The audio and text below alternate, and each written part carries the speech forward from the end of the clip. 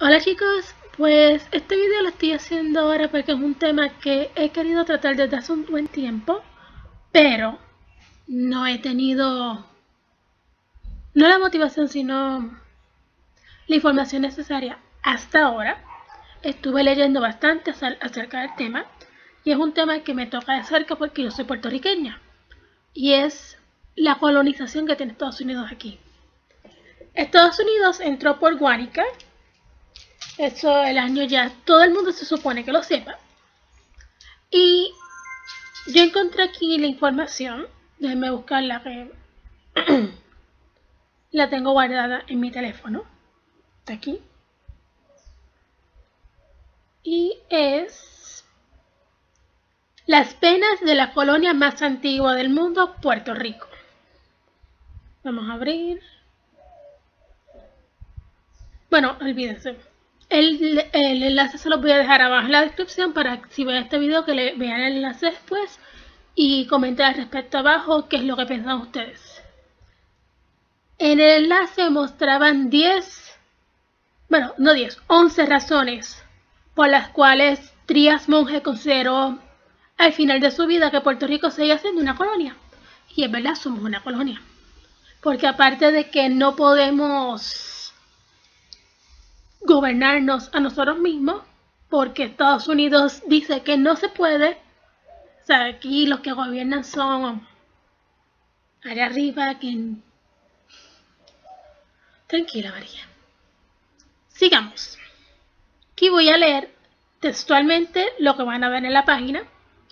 Y es, número uno, las leyes de Estados Unidos aplican al pueblo puertorriqueño sin su consentimiento. Las leyes de los Estados Unidos pueden anular disposiciones de la Constitución del Estado Libre Asociado.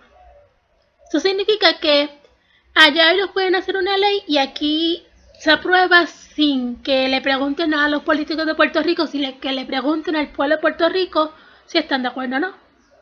Esa es la situación de aquí, que acá no podemos decirle no a lo que digan allá. Lo que dicen allá para ellos es ley, aquí lo tienen que poner. Sin decir que no. 2.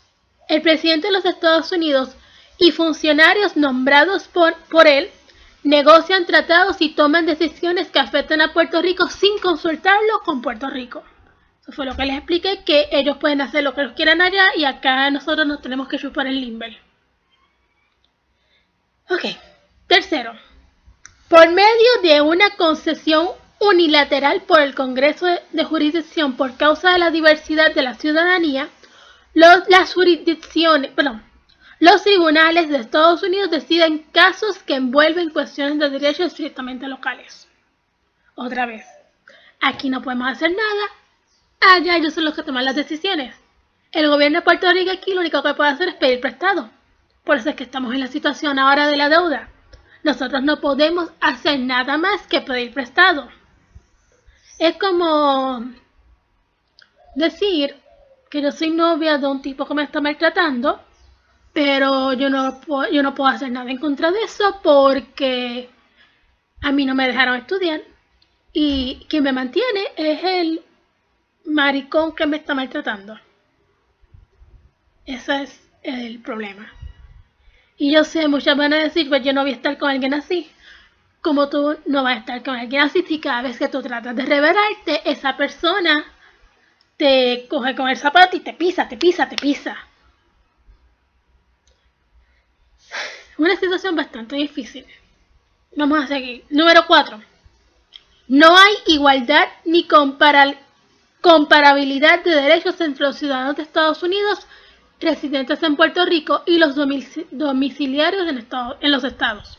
El Congreso da por sentado que puede unilateralmente ejercer plenos poderes sobre Puerto Rico bajo la cláusula territorial de la Constitución de los Estados Unidos. Esa es la número 5. Número 6. El gobierno de Estados Unidos sostiene que la soberanía de Puerto Rico reside exclusivamente en Estados Unidos y no en el pueblo de Puerto Rico. No en el país de Puerto Rico, perdón. Quiero decir que allá ellos pueden luchar por su libertad para que no podemos luchar por nuestra libertad. Tanto, número 7, perdonen. tanto el Congreso como la rama ejecutiva del gobierno de Estados Unidos actúan como si no hubiera un convenio entre Estados Unidos y Puerto Rico. Y algunos funcionarios argumentan que ningún convenio es legalmente posible. 8. Incluso los tribunales sostienen que hay ahora un convenio de unión y que en ese convenio abarca la ley de las relaciones federales. El consentimiento otorgado por el pueblo puertorriqueño en 1950, cuando la ley 600 en un referéndum, cuando aceptó la ley 600 en un referéndum es excesivamente amplio. 9. Puerto Rico no juega papel alguno en la vida de la comunidad internacional, como participante directo o indirecto de las relaciones tomadas por Estados Unidos. Nuevamente, Puerto Rico no puede tener ninguna relación con el exterior porque Estados Unidos dice que no. No nos dejan hacer nada. Número 10. El estatus del libre asociado como está ahora no cumple con los estándares de descolonización descolonización establecidos por las Naciones Unidas. Perdónenme por esa cosita de la mente. Pues como estaba diciendo, el Estado libre asociado, como le dicen ahora, eso no existe, es una falacia. No somos un Estado, no somos libres, no estamos asociados a Estados Unidos. Somos una colonia que Estados Unidos le está usando para explotarnos y sacarnos riqueza. Ok, número 11, la última. No hay en el mundo actual relación con, no colonial alguna conocida en la que un pueblo ejerza tan vasto, casi ilimitado poder sobre el gobierno de otro. O sea, este es el único país en el que Estados Unidos reside, no, tiene poder sobre él y no lo deja hacer nada. Ningún otro país tiene este problema, solamente Puerto Rico. Y pues eso es básicamente las 11 razones. Pueden visitar el enlace que les voy a dejar abajo. Léanlo con calma, analícenlo y díganme qué es lo que piensan al respecto. Me gustaría mucho saber su opinión. Y si no tienen nada bueno que decir con el tema, pues no comenten. Pero si tienen algo inteligente que decir, por favor, coméntenlo. Me gustaría leer sus palabras. Me gustaría leer qué es lo que ustedes piensan con respecto a este tema de Puerto Rico y Estados Unidos. Quiero hacer un foro y si este video puede llegar a más personas que sepan de la condición de Puerto Rico y que no hablen al papagayo sin saber lo que está pasando. Así que yo voy a seguir leyendo, voy a seguir educándome con respecto a mi tema, porque uno nunca deja de aprender y siempre van a salir cosas buenas que uno no sabía. Así que yo voy a seguir leyendo.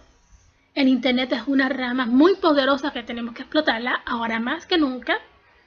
Y de aquí pueden salir cosas que en un momento vayan a acabar con este problema de colonización que tenemos en Puerto Rico. Así que, gente, lean, edúquense y vamos a sacar a Puerto Rico adelante porque yo creo que Puerto Rico puede ser un país libre y todo empieza ahora. Muchas gracias por verme. verme. Si te gustó el video, dale me gusta, compártelo con tus amistades y no olvides suscribirte a mi canal que voy a seguir con mi programa de J Music Live Puerto Rico y pues sígueme en mis redes sociales Instagram, Facebook y Twitter. Instagram y Twitter María Rivera LDH y Facebook María Rivera. Así que muchas gracias a todos y nos vemos, los quiero.